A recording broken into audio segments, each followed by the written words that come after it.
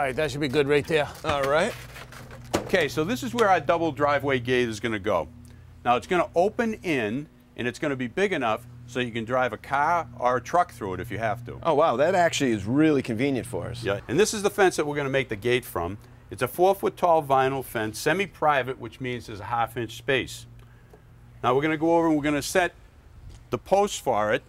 As you can see, this vinyl post is a hollow piece of vinyl. What we have to do is we have to add an aluminum I-beam inside of it to give it a strengthened structure. And also, it has a nice flat surface that we can mount our hinge screws into. So this supports the gate, not the vinyl. Yes, that's right. And there's nothing worse than a saggy No, gate. No, there isn't. so we notched out a little bit of the deck so that we can get the post right up against it tight. I'm going to mark out the asphalt so that I can cut it out with the electric jackhammer.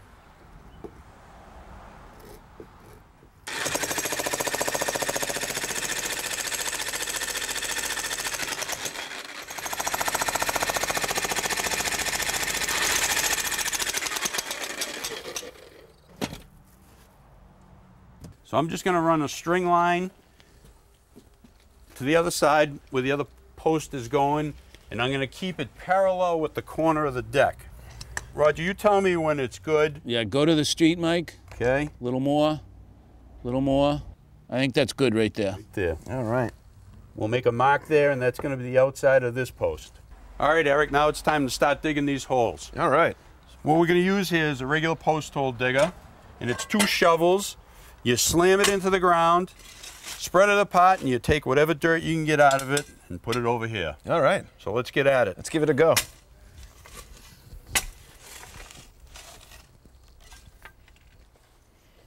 I think I got the hang of this. That's good. All right, Roger, you start that hole, and I'll work with Eric on this one. Got it? The harder you slam that in and take more material out, the better it is, because we got to get these down 30 inches. 30 inches? That's right.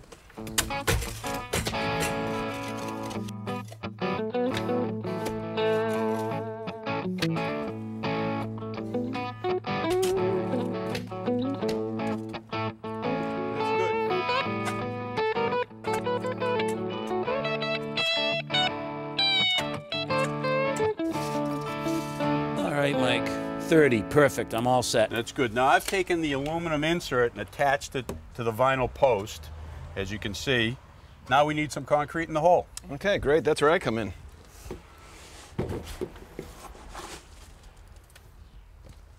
What do you want? Two in there, Mike? Two's good, yep. Now I can set the post in and plumb it up. Tell me which way you want it, Mike. Pull a little to me. Perfect. All right, Eric, we use some more concrete All right. all the way around. Do you fill it all the way to the top, Mike? We'll, we'll leave three inches in case we have some grass to grow around it.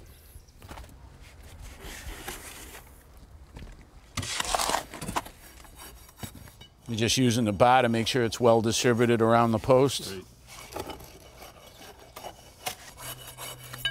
Some more? One more scoop. Okay. I'm just going to finish this concrete here.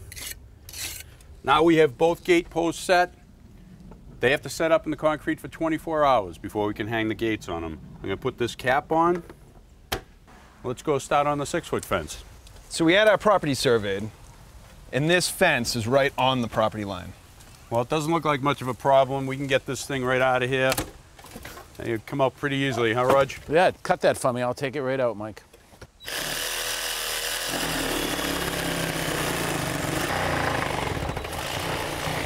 All right, Mike, watch it. Good. Let's get this one.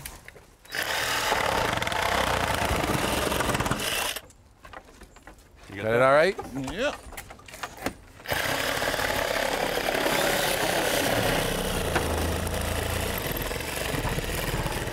Now we just got a few posts to do.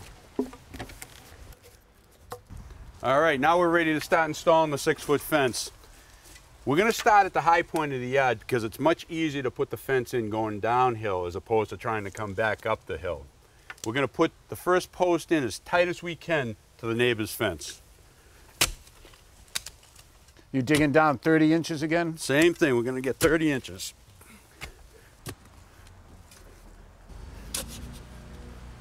That looks pretty good. Now it's time to put that post in. All right, here you go. Thank you. And what we have here is the same hollow vinyl, but what we actually do is we put a pressure treated insert in up to just below the first hole. And we don't want it to impede the panel from going in. It's a mortise and tenon system. So the panel goes right in, and we keep the PT just below that. But that gives the bottom of that post strength. Gives a lot of strength. How's that look? Let's see the level.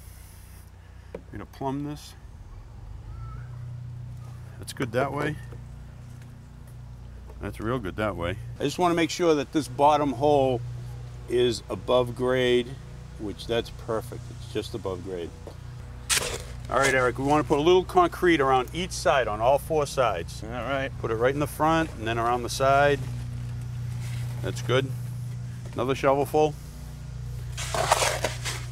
It's all right, we're gonna put about a foot of concrete into the hole and then we're gonna tamp the rest in.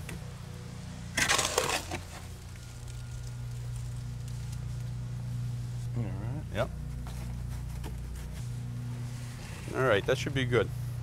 I'm just gonna compact that concrete and then we're ready to add some of the material we took out. So why don't you shovel some of that in and I'll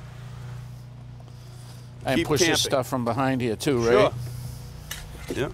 All right, Roger, and you make sure that we're still plumb. We're good. Okay, ready to dump it in. Yep. All right. Just keep it coming. All the way around.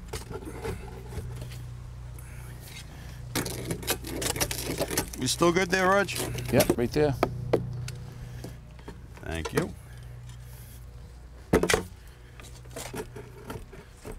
I'm going to run a string line the whole back run here, and it'll give us a point where we can plumb our post to.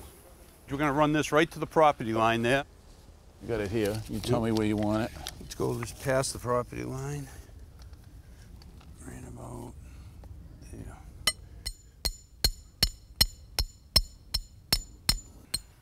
Good? That looks good, Rog. All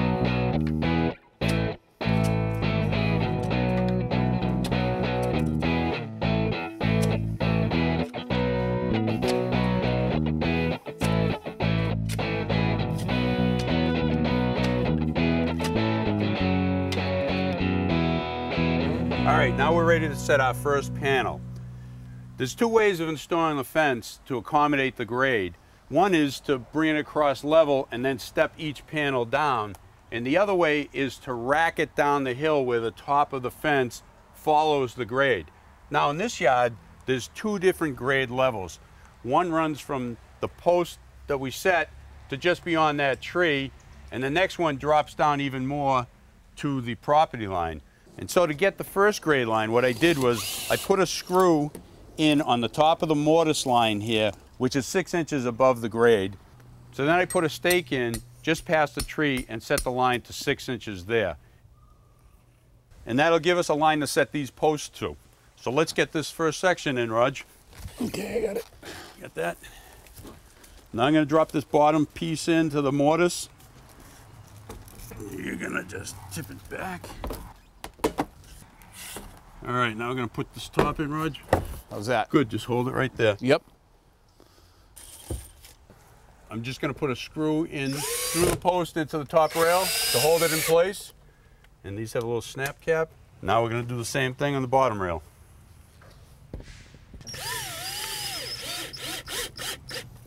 We're ready for another post. See if we can drop it in. You got it facing the right way. There you go. Okay, Okay. kick that bottom in a little bit, Rog. You good there? Yep. Perfect. Let's just check the height here. On that bottom. That's good.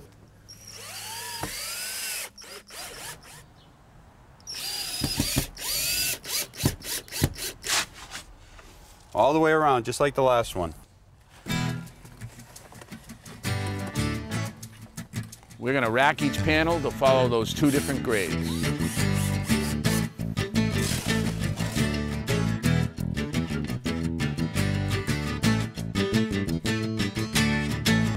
Eric, it took three days to install the fence, but you now have an enclosed, child-safe backyard, and it all starts with this gate. Yeah, and this gate is beautiful. and it's strong too. We mounted the screws for the hinges through the aluminum I-beam, and the gate itself is hollow, but we add pressure-treated wood on the gate uprights, and also it has a diagonal brace, which gives it strength. And to open the gate, just simply hit this lever, swings open. If you need to get your car through, just pop this pin up, and there you go. And I see you're already enjoying the backyard. We are, thank you. We're looking forward to being able to be out here playing every day and not worried about the street. Thank you. Yeah, and the fence looks great. It matches perfectly with our neighbors. Now it looks like we have one continuous fence. Thanks so much, Mike and Roger, for helping us out. This looks great. You're welcome. Yeah, you're welcome. Enjoy it. Thank Wanna you. go down the slide? Here we go. Yay! Go ahead. He's having fun. They're going to get a lot of use out of that back. They are, yeah. So, Roger, some people might say that vinyl eh, maybe doesn't have the best reputation, that it might be flimsy. Well, let's just say that all vinyl isn't equal. Take a look at this one. Top rail, bottom rail, and that's it, holding the whole thing together. All right, so not much here. Now, this is the vinyl fence we installed. And the first thing you notice is the top cap, which helps stiffen the top. But the most important part is down here. In the bottom rail, there's an aluminum I-beam. That's going to stop the bottom from sagging or bowing. So this is really going to hold up. Right, and one other thing we did is remember that every post had a piece of pressure-treated six by six in it to hold it in place so it wasn't going to move. Okay. Well, looks are important too, and as you look at this panel right here, it's pretty plain. There's not much going on. Yep. But the one that you guys installed, I noticed the top cap. That's a nice detail, and I even like the molding detail here up at the top and the bottom. Sometimes it's those little details that can make all the difference. And I love the fact that you're not going to have to paint this. So I guess if you buy the right vinyl fence, it should last for a long time. And you know what they say? Vinyl is final.